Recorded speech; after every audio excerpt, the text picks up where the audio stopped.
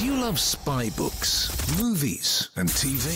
Then the Spybrary podcast is for you. Hi everyone, my name is Shane Whaley. I'm host of the Spybrary podcast, coming to you from Station V. I am thrilled. I am excited. I am honored to introduce our guests for today's episode. We are kicking off Section F. That's our division for movies and spy films. Many of you have asked me, particularly last year when I was out on the road, can you cover more spy movies?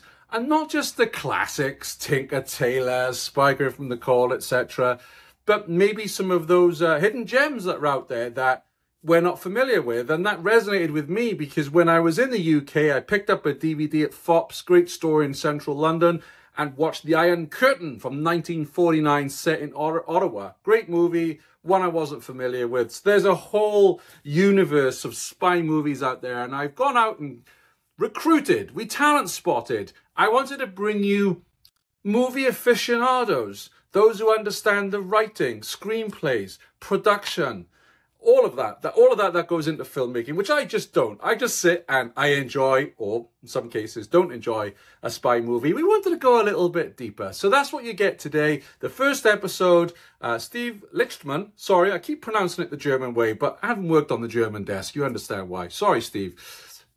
Decided that he wanted to cover. He wanted the panel section F to evaluate the third man. So without further ado, we'll cross over to section F let us know what you think of The Third Man. Or is there something that the panelists said that you agree with strongly, disagree with strongly? Hey, it's movies, it's literature. The world would be a boring place if we all had the same views and ideas and uh, tastes.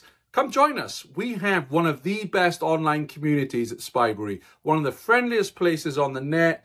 All sorts are in there. One thing with the, the common theme is we talk about spy movies, spy books, spy TV, spy history. Come join us at spybrary.com forward slash community. Hey, this is Steve Lichtman on a new version of Spybrary, uh, Section F, uh, to talk about the spy films that we love, uh, acknowledged classics, maybe unjustly or unfairly neglected classics. Uh, basically, to, to celebrate the movies that we love and to uh, if you've seen them, maybe you want to go out and see them again and appreciate them more. If you haven't seen them, maybe you'll you'll want to go out and and watch them. Uh, we have a, an all star lineup of people here to be talking about these movies today and, and as we go forward into the future. And I thought we would just begin by introducing ourselves. My name is is Steve. I'm a TV writer in Los Angeles. Uh, I've written for some shows you've probably heard of, like The Good Wife and Medium, and a bunch you've probably never heard of. And my most recent project is a television adaptation of uh, Declare, a supernatural spy thriller by the great Tim Powers. We also have with us uh, Jonathan Melville, Eric Newsom, and Michael Huey. Jonathan, do you want to do a quick introduction of yourself? Sure, yeah. Well, I'm based uh, in Edinburgh, in Scotland, and I'm a, a film journalist and um, and author. I've written a few books on films, and most and, um, so I was going to say, most importantly, I'm a, I'm a film fan. Really, I just love love watching films and not always analysing them. So I think we'll do a bit of analysis, but also just enjoy talking about this film. Great. And if you could go back in time and be a part of any classic spy movie, which one would you want to be, and which movie would it be, and what role would you want to play? I think. Oh well, there's so many. I mean, I, I as a Edinburgher, um, Sean Connery is of course uh, the main man here, but. Yes. Uh, that's an obvious answer. So I think um, Austin Powers in uh, in the in the first Austin Powers movie, uh, just because it's so much fun, and he was obviously having a lot of fun. Excellent. And Michael Huey, where are you coming from, and what's your background? Yeah, I'm from North Carolina. I'm a um, I teach theater and acting at the university level. Um, I'm also a, a, writer, a novelist. I have, I have two books that somebody actually wanted to publish and both of them are um, early Cold War kind of spy thrillers, uh, taking place like in you know right after World War II. So this kind of perfect for third man, and uh, yeah, that's who I am. Well, if you were hosting an all-night binge marathon of spy movies, what five or so movies would you screen, and what snacks would you serve? Well, it just so happens I'm prepared for this question, Steve. Uh, so I would choose uh, On Her Majesty Secret Service. Mm-hmm. I would choose um, um, the parody OSS 117 Cairo Nest of Spies. Mm-hmm. I would use uh, have Tinker Tailor's Tinker Tailor Soldier Spy, the 2011 version with Gary, the Ipcress file, and um, what snacks? Um, well, is does is bourbon a snack? it has it has carbs in it, so I think it counts. Yeah, oh, there we go. So, so carbs bourbon. equals snack. Excellent. And Eric Newsom, where are you logging in from? And tell us a little bit about yourself. Uh, I am teach here at the University of Central Missouri. I teach in the uh, digital media production program, uh, where among the many classes I teach is uh, film appreciation, and so I, you know, I'm a fan of film. I also have read many student papers analyzing films. Uh, I I love to have a good chat about films myself and, and lead the uh, student film discussion group here as well. Excellent. And if you could host a dinner party with any three characters from spy movies, who would you invite? Present Oh, company that's- excluded. That's a good one. Uh, you know, some of these. Uh, uh, the first one that I was thinking of is, is one that I don't think many people think of as a spy movie, but it's uh, uh, Peter Falk as Vince Ricardo in The In-Laws, uh, which I, I just find his. Uh, uh, there, there's a line he says in that where someone looks at him, you know, it's Peter Falk, and they say, "You, you don't really look like a spy." He's like, "No, they're all built like me, stocky, muscular, short to the ground." Um, I would also, uh, uh, I know an, another controversial film. Karl Malden is Leo Newbigen in uh, Billion Dollar Brain. I know a lot of people aren't huge fans of that one. I personally uh, do enjoy it. Uh, and uh, and Milos uh, Columbo, uh, Chaim Topol from uh, For Your Eyes Only. I feel like that would be a really uh, a really spirited party if if we could get all of them together. Excellent. And if I was directing the ultimate spy movie, I was thinking who who would I want to cast in it? What three actors? And I think my protagonist would be Richard Burton Spy Came In From the Cold. My his his my female lead would be Florence Pugh, who I think is so incredible in the Park Chan Wook uh, TV miniseries of The Little Drummer Girl. And as our, our antagonist, I would want to cast Philip Seymour Hoffman, who is fantastic in the Mission Impossible movie, but also in A Most Wanted Man. Just a, a- an amazing performance in what was his final performance. Well, our first episode uh, is going to be about one of the all-time greatest movies in the history of cinema, and even uh, the most recent British Film Institute uh, survey of experts was determined to be the greatest movie in, in British uh, cinematic history, and that is Carol Reed's The Third Man uh, you know, one of the most celebrated and beloved movies in, in all of history. Uh, released in 1949, so we're celebrating the 75th anniversary of, of this classic this year. Shot on location in Vienna in 1948, released in Britain and the US in 1949. Written by Graham Greene, directed, as I mentioned, by Carol Reed, uh, produced by Alexander Korda, and starring Joseph Cotten, Trevor Howard, Alida Valli, and of course Orson Welles as Harry Lime.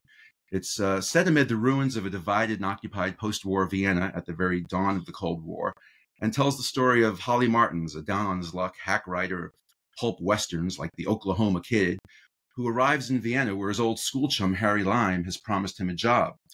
But he quickly learns that his old friend is dead, killed in a street accident outside his apartment. Soon after that, Holly learns that his friend wasn't the man that he thought he was, and he's determined, though, to learn the truth. He can't give up his image of his old school buddy. Uh, then he quickly learns that his friend's death may not have been accidental, that he may have been murdered, and that there was a mysterious third man at the scene of the death. Soon after that, he discovers his friend isn't even dead. Uh, the third man is a murder mystery that turns into a manhunt, and it is a fair and fun question that we'll get to later as to whether it's even a spy story at all.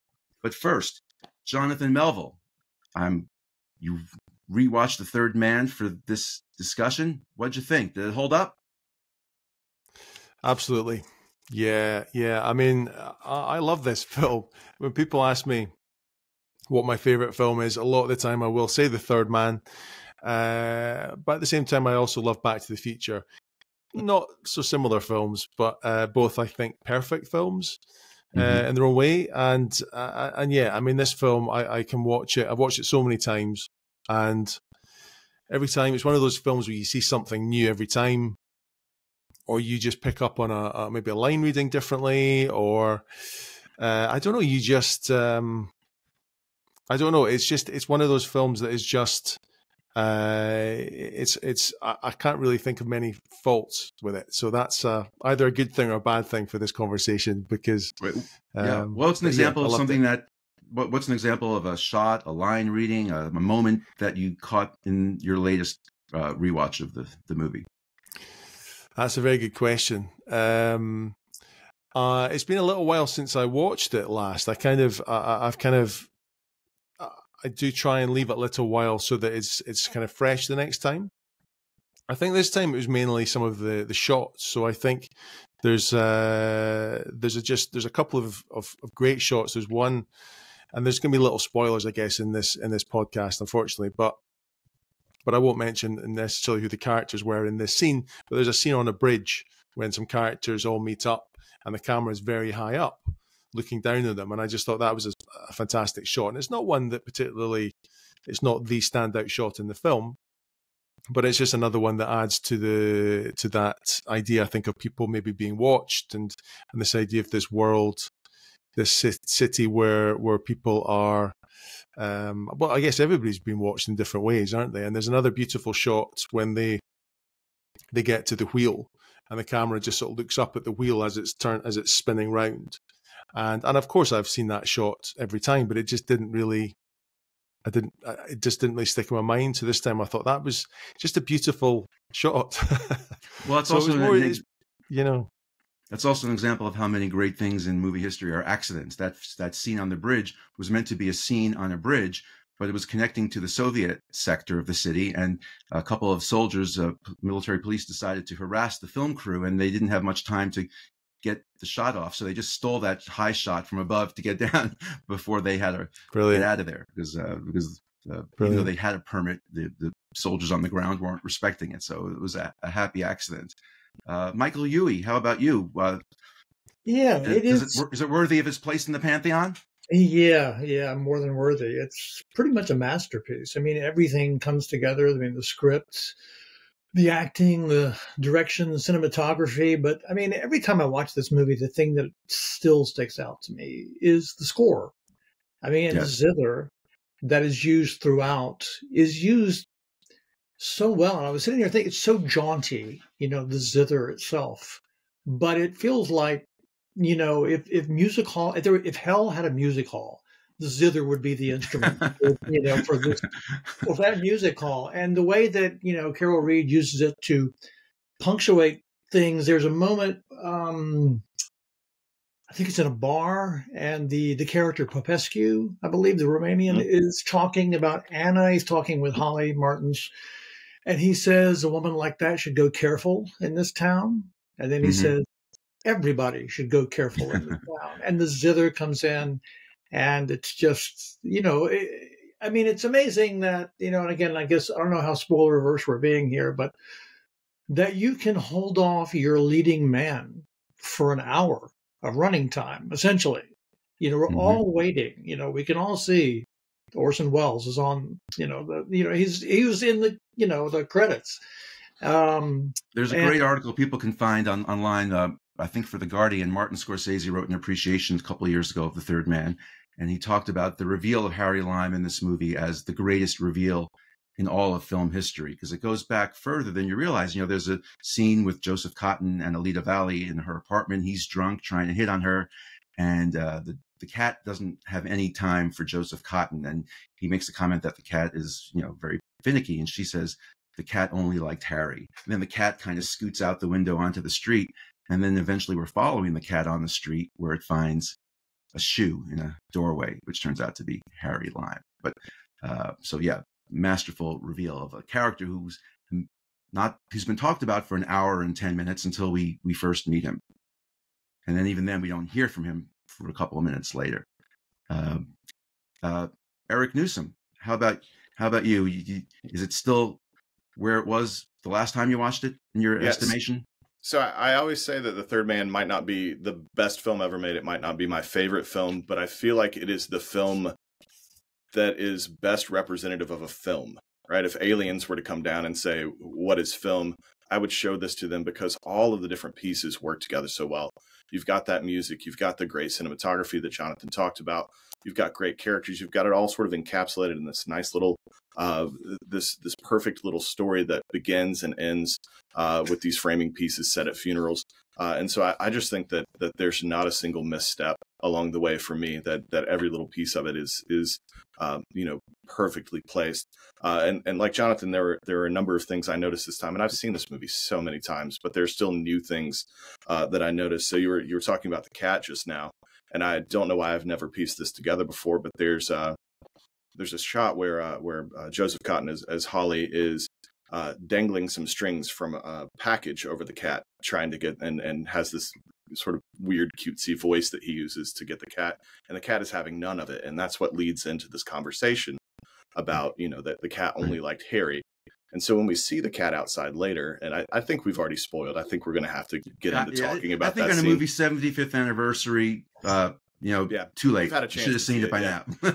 so the that famous scene right before that reveal where the cat is there at his feet, the cat is playing with the strings of his shoe, right? And so there's this this nice sort of mirror to show uh, because a, a lot of what that scene leading up to the reveal is is about how Holly would like to be Harry, or he would like to fill that space that Harry has filled for Anna. And she and often he, calls him Harry by mistake yeah. and apologizes, not apologizes. Yeah, and and he knows in that moment, like he's he's on the verge of leaving because there's no way that he can.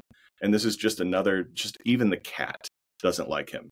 Even the cat would prefer no. to play with Harry, who is not even interested in playing with it, right. than Holly, who is there, and a very a very cat like thing to do. But there, there's a lot of things like this is the first time I think I've noticed uh, uh, wife as a character, the cultural ambassador, and how she she doesn't have a very generous in describing her as his wife.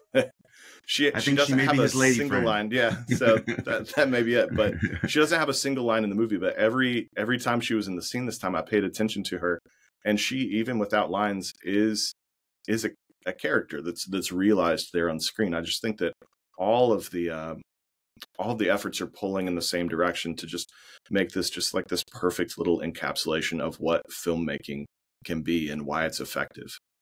You know, one of the things that I, I, I caught on this watch, and I've watched this movie now like you many many times. It's it's now breathing down the neck of Willy Wonka and It's a Wonderful Life for hmm. movies that I've watched more than than any other. What struck me freshly watching it again now was how funny it is. It's a genuinely funny movie. I mean, Graham Greene is a comedic writer, of course, uh, but I just, you know, you're so caught up in the intrigue and the shades of gray and the suspense.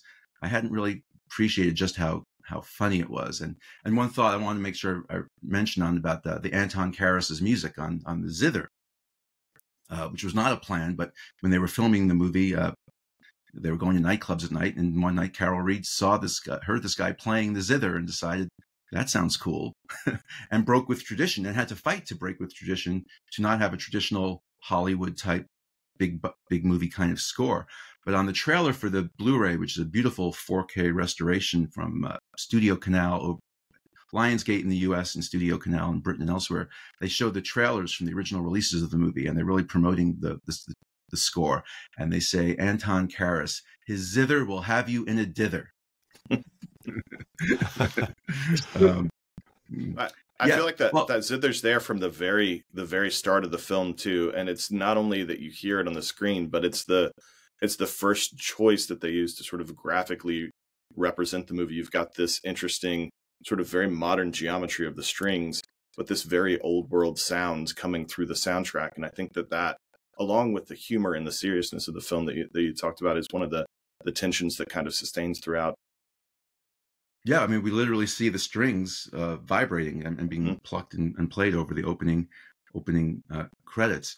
Uh, talk, let's talk about the cinematography a little bit, the look and feel of the movie, which is which is you know famous for its what they call Dutch angles, the slightly tilted uh, angle of the camera. Um, obviously, it's trying to capture the disorientation of of Holly Martins in in, in this in the city. Uh, did that work for you? Is that, is that something that you think is uh, effective still, or what do you What do you think, Michael? Yeah, I love it. I mean, it's um, I guess now we would sort of call it, you know, um, a lot of the lighting choices and very noir. You know, especially when we're in the tunnels. Um, you know, towards the end of the movie. But uh, I mean, it just makes Vienna such a character. You right. know, the the lighting and the like you said, sort of the, the tilted angles and and and some of the choices, the overhead shots, and I mean, it's. um I think that's to me. We haven't gotten this far yet, but that's one of the things that makes it sort of a spy movie. Um, is, well, is let's go there. Let's go there. Talk talk more about that. Well, Jonathan mentioned this when we were before we started recording. You know about the moral ambiguity of the script. Um, I mean, there are no spies in this movie that I that I'm that are mentioned directly as spies. You know, The, uh, the word spy is used only once in the movie when when Holly is on the street and he senses someone out there and he says, "Are you? What are you? Some kind of spy?" And, uh, and then we have the the Harry reveal. But that is the, even the only time the word spy is used. So yeah, um, but it has such a spy vibe, doesn't it? so and what what, what does a spy vibe mean to you? Yeah, I mean, um, you can't trust anyone. Um, everyone has their own agenda, and you're constantly questioning what is their agenda. You know, for a long time. I mean, I haven't watched it in ten years before I rewatched it for this episode, and for a while, I was, you know, really questioning what's going on with, you know, Alida Valli's character Anna. You know, until it's just so clear, you know, you know when she's lying in bed wearing Harry Lime's pajamas, which I love that touch. Um, you know where she's from, but all the other people, the you know, even the way Carol Reed uses uh, the faces of, I assume, actual people from Vienna. I'm not, I don't know. Yes. Yeah, there was a there was a there was a B unit that was capturing all these doc these faces that were real, and the balloon guy was real. That's a real Oh, wow. balloon guy. Um, yeah, I mean that's that just kind of creates sort of you know I think that spy vibe. Jonathan, Um, are you confident calling the Third Man a spy movie? Yeah, well, that that's what Michael is is sort of suggesting. At the, before we started recording, we, we had a bit of a chat, and we we were sort of saying, I, I, when this was first suggested, I thought, okay, is that is that a spy film? But in many ways, it's the ultimate spy film, whilst Hmm, at the same time say not being a spy film. It's a, it's it's very odd. Well, I think as I'm, I I, I used those words, um, moral ambiguity, and I think that is something that uh, is is is present in in many if not all, spy the, of the best spy novels anyway, and, and and and films. And I think those themes of uh, of you know, there's betrayal in there.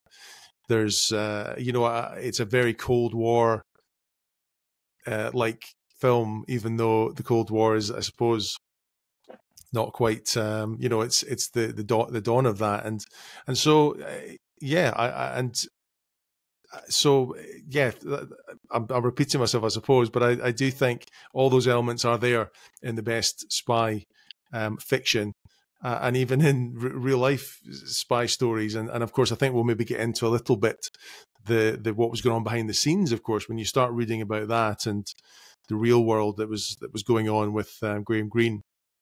But We'll get to- keeping it to get the to that. fiction side of it, yeah, just just to say, yeah, I, as once again, I think it's the ultimate spy film, whilst not being a spy film at all, which I, I find very strange even saying. But there we are. Do you agree with that, Eric?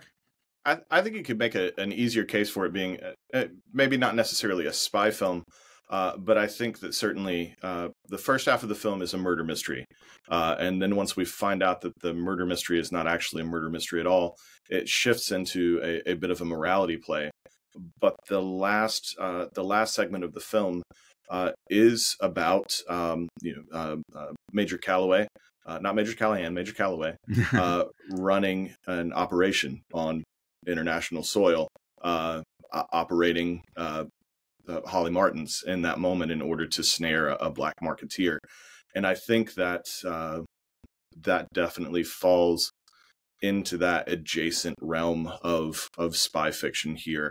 Uh, if it's not actually, you know, he, Holly's not a secret agent in this case, but but he is, I think, uh, being operated in that moment when he's sitting at the the coffee shop waiting, uh, the bait that's waiting in the snare for for Harry to be picked up. Um, yeah, you know, and, and as as today, you know, the, the, the of course there are major connections between organized crime and intelligence services, especially in Russia and the former Soviet Union. Yeah. Uh, and in Harry Lime, you know, he says he's safe. You know, he lives in the Soviet sector for one thing, and it's just the tunnels are a, a way to get in and out of the different sectors uh, uh, surreptitiously. And he says to Holly, I, "I'm safe in the Soviet sector as long as they can use me."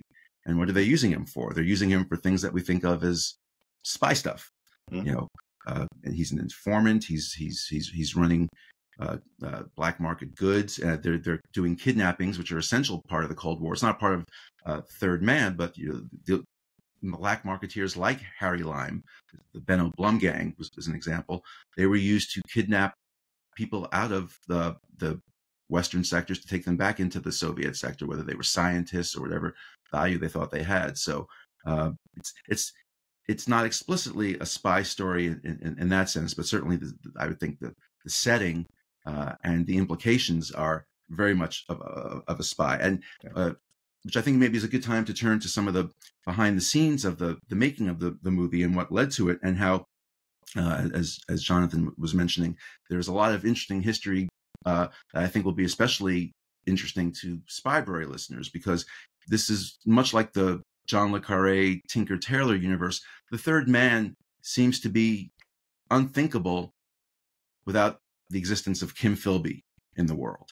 This is very much a story that exists in the universe of Kim Philby, uh, which, which will be really interesting to talk about in a uh, at, at, some length, I think, because it helps under, helps us understand uh, the movie better and the themes of the movie and, and, and, why it even exists. Just to give a quick uh, background on that, Graham Greene uh, wrote this story uh, for Alexander Korda and Carol Reed. Graham Greene was uh, a spy.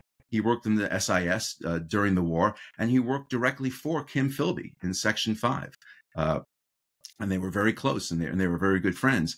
And what we now know is that Graham Greene resigned from the Secret Service uh, just before D-Day in, in, the spring of 1944, even as Kim Philby was trying to give him a very important promotion, uh, as as Kim Philby himself was about to get a, a big promotion.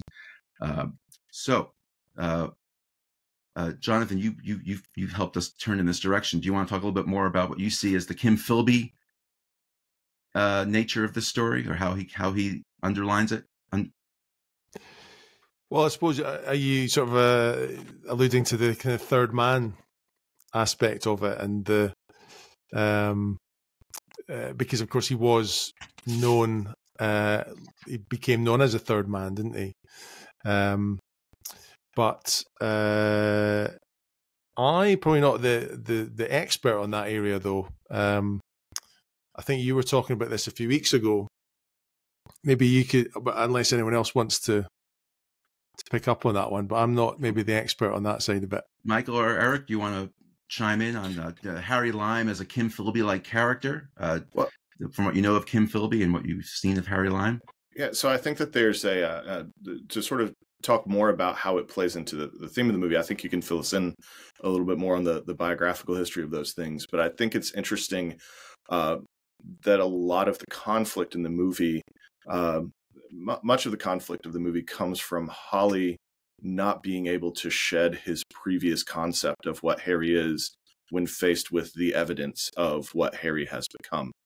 And I imagine that that is uh, in part Greene uh, and uh, culture at large sort of working through that that idea about uh, about betrayal, about finding out that someone has this secret side to them that you don't know. I, I always think it's uh, uh fascinating the ways in which Holly, who has been this sort of cowboy character that he's trying to uh, live out the parts of his books. He's an American abroad trying to force this sort of noble concept of, of justice and, and heroism upon everybody he meets to almost everyone's detriment throughout the entire movie right holly comes in and uh, in trying to do the right thing destroys every everything that everyone has set up um, but that uh, uh, because he has this this noble idea of things, the scene where Calloway uh, has to lay out the evidence before him becomes almost cartoonish, right? The level of the amount of evidence, the the close up of the magnifying glass, the different slides that they're showing, uh, you feel like he's been there all day, still sort of steadfastly refusing to acknowledge that Harry Lime is a villain, right? That in his mm-hmm. mind he's the hero of the story, and now he's had that sort of taken out from beneath him, and this man is now the villain, and that's a that's a reckoning. That's you know that's cognitive dissonance that you have to deal with. This person that you've built up, that you've put on a pedestal, is actually despicable, right? And I think you probably see those as being um, you know a way of sort of narratively processing feelings that people are having about about Philby specifically at this time. Mm-hmm. Uh, Michael, would you sooner betray your country than betray your friend? well, this is being recorded, Steve. I'm not sure. okay. Uh, but that is just between us. yeah, good, just between friends.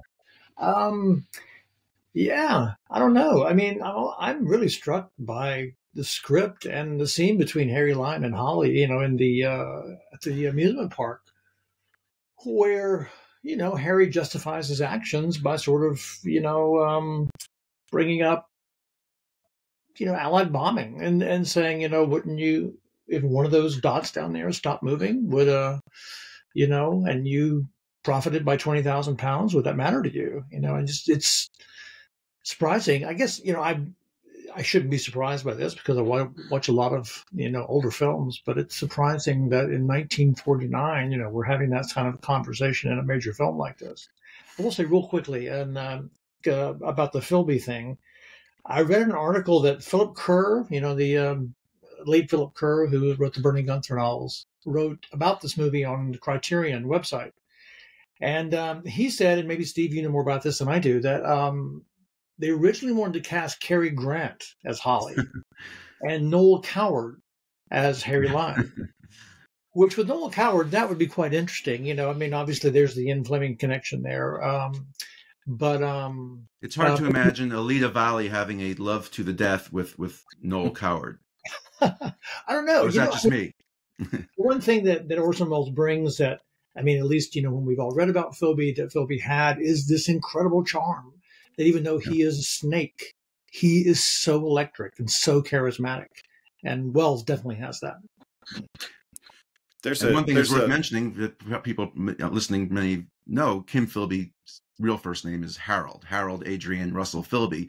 So he is a Harry, and even his initials are, you know, are including H A R. So there are some potential signals being sent there by by Graham Greene. Oh. Uh, were you going to say, Eric? I was going to say that there's a line that uh, uh, that Holly has just before he finds out that Harry is alive, where um, he and Anna are having a conversation about what it is that that drew them to Harry, um, and void of having Harry there, he sounds like the worst possible person, right? All the things that they're listing out about him are that are charming are about like he he knows how to get out of exams, he knows how to you know do these criminal activities and get away with them. You know, even later when they're having the the the, the very tense discussion on the Ferris wheel car, uh, the thing that Holly brings up is you always knew the back way out of the gambling joint when the cop showed up, but you didn't ever share that with me, right? You had your exit route, but and so he's not a likable person even in their memories of him and even in the the wake of his what what they think is his death they don't have nice things to say about him. But he is charming. And he he ends that conversation by saying i suppose he was uh, uh, laughing at, at fools like us all along. And then every almost every interaction that harry has with with holly for the rest of the film he is laughing at him right? He has this, Right. this smile but it's not it's not a cruel laugh that he it's there's a charm to it in that famous first shot that I'm I'm sure we'll get to talking about he has this little sort of smirking smile to the camera and he feels charming right there's Mhm. a reason why uh, when Orson Welles would go around the world after this to, to different European countries, they would chant Harry Lime in the streets. That he said that women were in love with Harry Lime. That when they chose to, uh, you know, to adapt this into other forms, it wasn't Holly Martin's story that they told. They kept coming back to Right. Harry Lime over and over again, and and trying to sort of uh, re- recuperate his image and make him into a, a more heroic figure. There is something inherently charming in Harry Lime as a character, and I think that that's that's magnified in the way that, that Orson Welles chooses to play him here. Jonathan, did you think at any point on the giant wheel when uh, Harry Lime opens the door, did you think there was a decent chance he would try and throw Holly Martins outside of that and have him splash onto the ground? Well, there's a there is a a, a really nice moment where um, Holly is looking out the window, and uh, Harry's standing behind him. I can't remember exactly what he says to him, but you can. But that look in his face, and then and then Holly turns round and he and the smile comes back. So Harry's got this sort of yeah that that what would you even call that? It's not evil. It's just that kind of the ser- the other side of him. It's that other side of him that he doesn't want people to see, and we see it. And then, and as it's only for a few seconds, and as I say, then then Holly turns round and the smile's back instantly, and you just think that's a that's a lovely bit of acting. Uh, and yes, I think there is probably a moment where where when he opens that door, yeah. you think, is he going to push uh, Holly out of that that door? Make him one of those um, dots. Michael, did you think that there was a chance that Holly was going to go flying outside of that car? I think Orson Welles is definitely thinking about it. I mean, you know, he keeps repeating, "You shouldn't have talked to the police," and he says that two or three times. So I think old that, man, so old man, old he man. says every every every sentence, every line. Yeah, yeah, like like Robert Shaw from Russia with you know Red Grant. Um, yeah, obviously line came first, but yeah, I think the Welles is he's thinking about it as Harry. Yeah, for sure. I, I, I really enjoy that scene because of the uh, uh, we, we, talked a little bit about the cinematography earlier, and Jonathan had talked about that shot looking up sort of through the center of the Ferris wheel, and you have all these like beautiful lines coming out from the center of the screen. It sort of matches an image that we've had earlier um, when Holly is running away from his uh, the the catastrophe of a speech that he's given uh, to the culture uh, club, and he's running up those spiral stairs, and we have a shot looking up at those. And, and, it strikes me that a lot of the shots, including the one looking down at the bridge, we have a lot of shots of people looking down from balconies. Um, kind of, uh, they use that height of the camera and then all the Dutch angles, uh, you know, those, those canted angles throughout the rest of the film to really emphasize part of the theme, which is the power from being being at the top, but also the precarity that comes from being at the top as well right? Mm-hmm. That even as uh, Harry is giving his speech about the dots on the ground, you know, would it, uh, you know, how how would you feel if any one of those dots just suddenly stopped moving? He's offering in that moment to to make Holly one of those dots by pushing him out, and in that scene. Uh, that scene actually starts. It's my that I you know in as much as that image of the reveal of Harry is like one of the all-time classic images. I think that this becomes the core of the film we've had Holly who's tried to be this hero, this cowboy, this entire movie, and the camera has never presented him in this way, right? We even have this great shot of him. Speaking of, of high shots, where uh, Calloway looks out of the window at the police station at him waiting for Anna and says he's been waiting there for you for a long time. And he's got his hands in his pockets. He's got this oversized coat on, and he looks like a small child just stomping around down there on the corner. We have not seen him look physically heroic once in the entire movie. And then there beside the Ferris wheel, and we've got these great swings that are beside of it too. We get this shot where the camera is beneath Holly, sorry, Holly, and uh, is looking up at Joseph Cotten, and he looks heroic. And then we're expecting to see that, you know, that long shot of of Harry walking where he's been very small. And then we're met with an equally heroic shot of Orson Welles. And so this scene becomes, uh, uh, in terms of the dialogue in terms of the themes, uh, but also in terms of that cinematography, a duel between the morals of the two of them. And if you notice that the uh, the the canting, the dutching of the angle of of the camera in that scene uh, has a, a, a diegetic reason. It's there in the story. The the Ferris wheel car, I guess you would call it, is moving. Um, but if you go back and watch that scene again, as the dialogue shifts between them, there are moments in which Holly has something to lord over Harry right? Something that Harry has legitimate uh, reason to be in fear of. And in that moment, Harry goes down in the shot, right? Mm. Holly rises above him. And we see this, this sort of physical representation of this moral battle of dialogue that's going on between them that is fascinating. Uh, but then that we leave that and, and the camera becomes straight at the bottom. Um, and so we're not quite sure where we're left with that.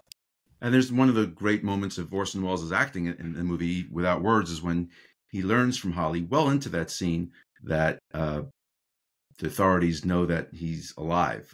Where you could just see him deflate and all the kind of cockiness and diabolical, you know, eyebrow looks on his face all of a sudden fall away and you see a vulnerable, fearful face that he then very quickly covers up. But we see that it's uh, the the other moment I would refer that to is when at the very end again uh, if you haven't seen it in 75 years sorry for the spoiler but when uh, he's he's been shot already by by the way by Bernard Lee who goes on to play M in the in the Bond movies and is also the grandfather of the actor uh, Jonny Lee Miller uh, he sees Holly, who's taken the fallen Sergeant Payne's uh, Bernard Lee's gun, and he finds uh, Lime on the, the staircase underneath one of the grates he was trying to escape from, and Welles just gives him the slight nod, which is his way of saying, "Just put me out of my misery. Just just shoot me." And then we look at Cotten, and then but then we cut away and we see Major Calloway as we hear the gunshot. So we don't know for sure exactly what happened, and certainly uh, Major Calloway knows even less than we do because he didn't know that uh, Cotten was holding the gun. But just one of the examples of just masterful acting uh, by Welles without even using words for such a normally otherwise verbal, if not verbose, actor. Uh, Jonathan, if you were trying to convince a friend who'd never seen The Third Man to watch them, sit down and watch the movie with you, what would be your what would be your pitch? Your your pithy Ooh, pitch. A pithy pitch. your elevator uh, pitch. well, I mean, I think I would just probably say a lot of what we've been saying today, but but but I think the the basic one is uh, you know this is one of my favorite films, one of my you know the, the, best films I've ever seen, and I want you to you know to to try and show you why. Uh, but uh, but you know I think it's just um, it's a sort of film. Of course, we just don't make anymore, and I don't want to get into you know being talking about how you know, if good, good, good films, new films versus old films, etc. But uh, but I think it's the sort of film that uh, it's a complete one-off. It's so unique. Uh, you'll come away with something uh, that, that you'll always get something new from it. Um, I think I struggle, you, to be honest. you struggle. How about how about you, Michael? You have a, a quick a quick pitch to get the uninitiated into the the cult of the third man. Um, a script by one of the greatest writers of the 20th century, starring one of the greatest actors and filmmakers of the 20th century. Um, but I forget who said it earlier. Um, it's the ultimate spy movie that's not really about spies. Uh, that's pretty intriguing. A little something for everybody. That's what I would use. I would use that one actually. yeah. Okay. Okay. Do you have any any uh, variations on that, Eric, that you might deploy? Well, I just think it's it's everybody working at at their best possible output. I think this is Carol Reed's. Uh, for me, it's Carol Reed's best film. Uh, I think it's the film in which I, I enjoy Orson Welles' acting the most. I, I love Orson Welles across all of his many roles, uh, but this to me is is the one role that I associate him with, even over Citizen Kane. Uh, I think Robert Krasker as the cinematographer is doing some some great work here. Joseph Won the Cotten, Oscar for that. Yeah, for this movie. Does, indeed, and deservedly so. Uh, Joseph Cotten's doing exactly what's needed, and, and, as Jonathan talks about, when they don't make movies like this anymore, I was looking at just the faces of some of the supporting actors. You know, we haven't talked about uh, Ernst Deutsch as uh, uh Baron Kurtz or uh, Eric Ponto as, as Dr. Winkel. Uh, just the the ways in which, as you were talking about, Welles acting with his face, the looks that they give each other when they're at the funeral. Um, there's a scene where where Holly goes to visit Winkel in his home and Kurtz's dog is there. And there's this moment where everybody knows what's going on. Um, and they're having to just act without the dialogue of acknowledgement.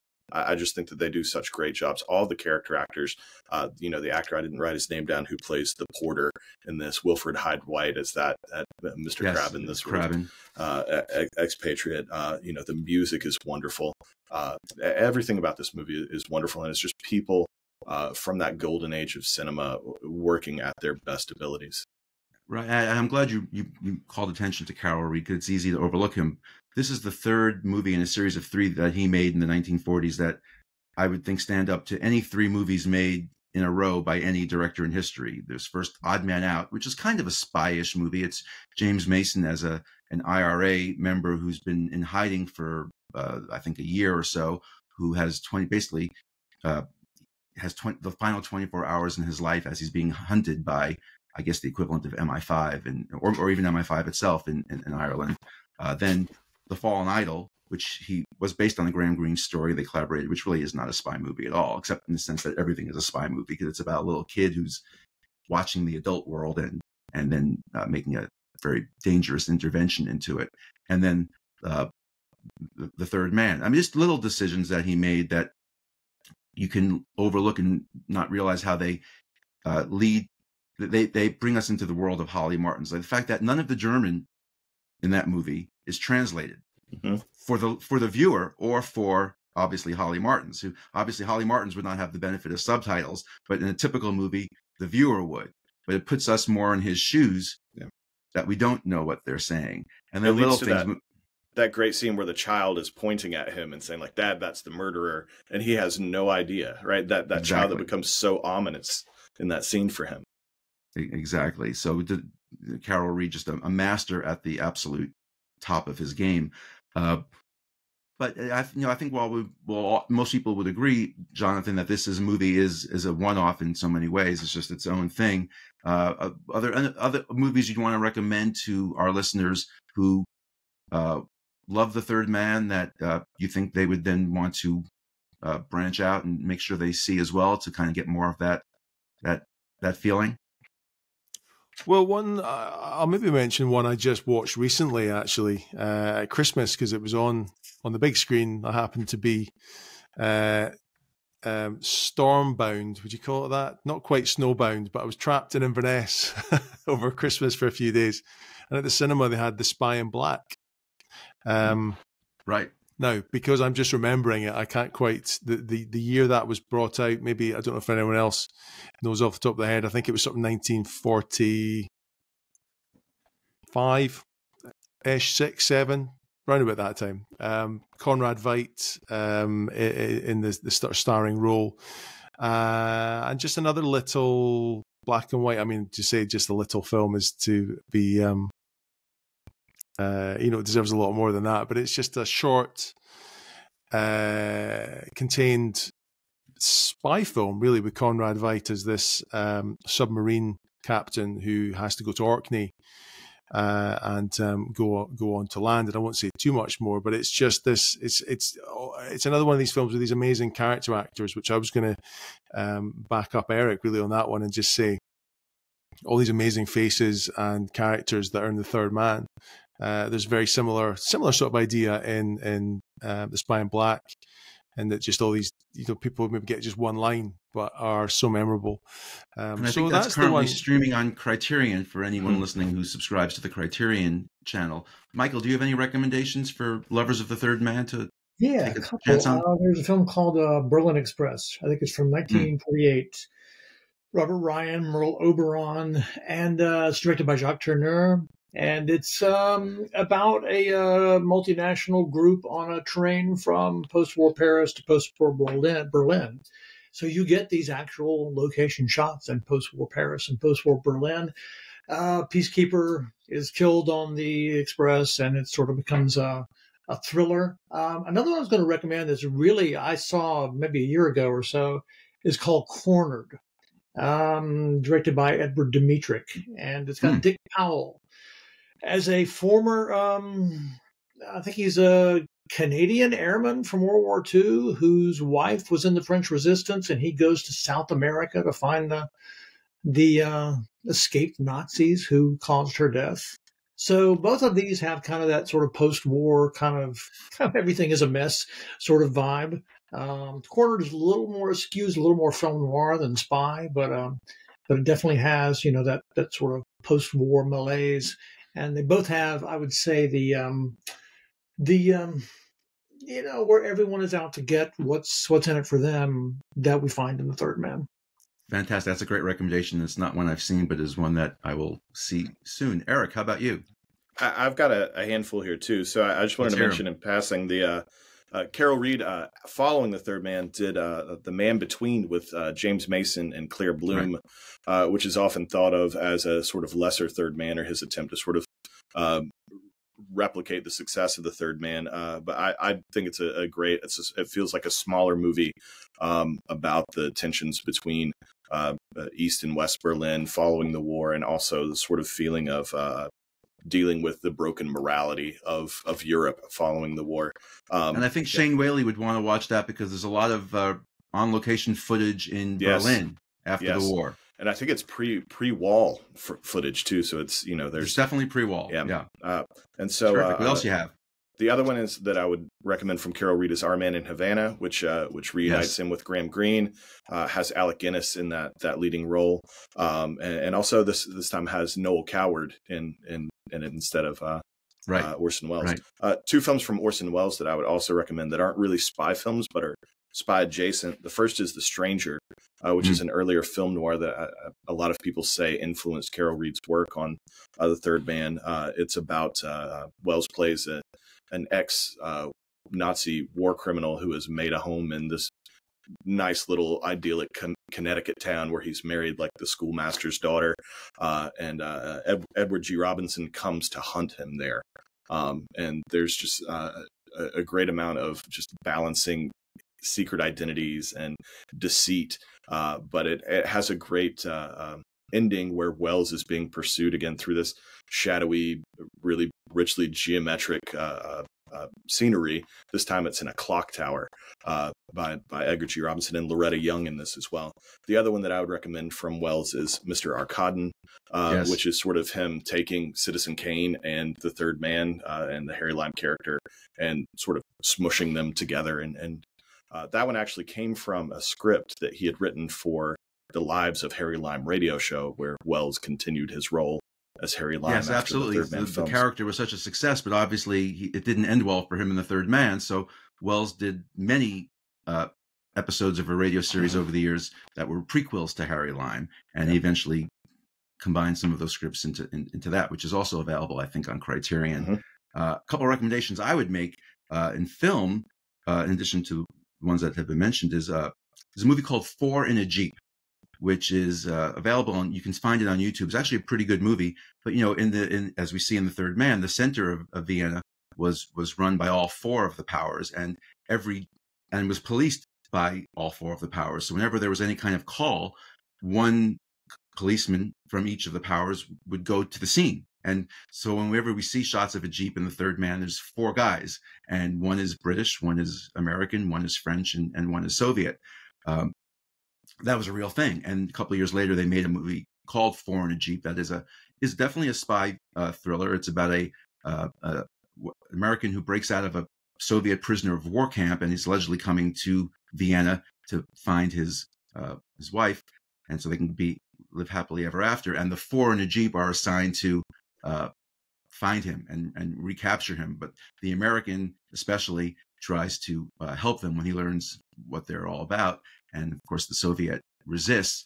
Uh, but it's it's a richer than that, and all the characters are nuanced. But especially interesting for the Third Man is it's co-directed and co-written by a woman named Elizabeth Montagu, who was also part of the Third Man story. She uh, was a former spy, worked for the OSS in, in Bern, Switzerland during the war, and then was hired by Alexander Korda as an advisor after the war. And she uh, was very crucial in the creation of the Third Man. She was the one who uh, initially took Graham Greene on a tour of v- Vienna so he could do research for the movie. Um, that's how he discovered the penicillin racket in the sewers. She's a key player in The Third Man. And she's also a key player in the making of this movie, Four in a Jeep, which you can find somewhere on DVD, but it's definitely on YouTube.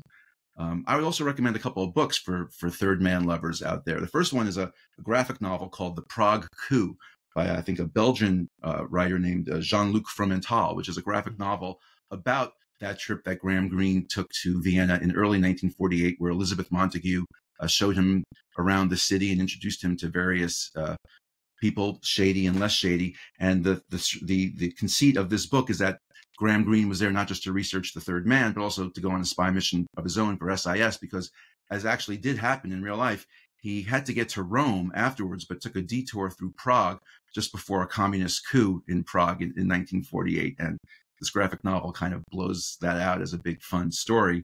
Um, I would also recommend for people who are interested in the, in the, in the movie a nonfiction book called In Search of the Third Man by a British uh, scholar named Charles Drazin, which is an excellent really enjoyable book about the movie, uh, the making of the movie, the characters, the real life characters, and and the Philby of it all.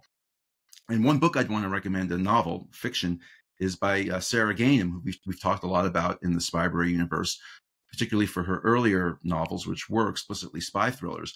But she also wrote a book that was a huge uh, success in the late 60s called Night Falls on the City, which is a really big, sprawling, epic story about Vienna from the Anschluss, the eve of the Anschluss in 1938 through the war into the early post-war phase. So if you're if you're really digging the post-war Vienna uh, vibe, uh, that book is a great immersion in in that world and and and uh, and the characters. And it's not explicitly a spy, but there are spy elements to the story, and it's just a really good a good read. Um, but one other last thing I wanted to mention that I had never really thought about before until I watched the, the movie again uh, for this podcast. I would like to. I should have answered this question uh, when we were when we were talking about what kind of marathon we might want to have uh, over a long night to watch a bunch of movies and have snacks. Well, I think now it would be really interesting to do a double feature of Casablanca and The Third Man because they really seem to be bookends to me. Uh, you know, one is, is Humphrey Bogart plays a very cynical, disillusioned American who is inspired to uh, rejoin the fight against fascist evil, uh, inspired in no small part by a, a beautiful European woman, In- Ingrid Bergman. Uh, and really struck me as how this is kind of a an inversion and a bookend to that story. We have Holly Martins, who is, if anything, a, a, a stupidly naive American filled with illusions, uh, who shows up in post in a post-war Vienna the, that is is uh, if anything going to lead to the stripping away of all of his illusions about uh, the world, let alone his friend. So I just wanted to mention that as well. Um, anyway, I think we're coming to the end of this uh, maiden voyage of Section F, the Spybrary uh, film podcast. Uh, Michael, Jonathan, Eric, uh, thank you. This has been tremendously fun for me because there's nothing I love to talk about more than spy stuff, especially spy movies and especially The Third Man. I want to give a thank you to Shane Whaley for making this possible and want to encourage all of you listening out there to leave comments on the webpage, uh, over in the Facebook page at Spybrary, and uh, send us suggestions for future episodes. There's there's there's rumor out rumors out there that our, our next episode may be about the the movie of uh, Funeral in Berlin, Len Deighton's Funeral in Berlin, starring Michael Caine, uh, but we have not confirmed that with those in those in power. But that is what we're hearing on the on the wire. Um, thanks again very much, and uh, hope you everyone listening enjoyed the podcast.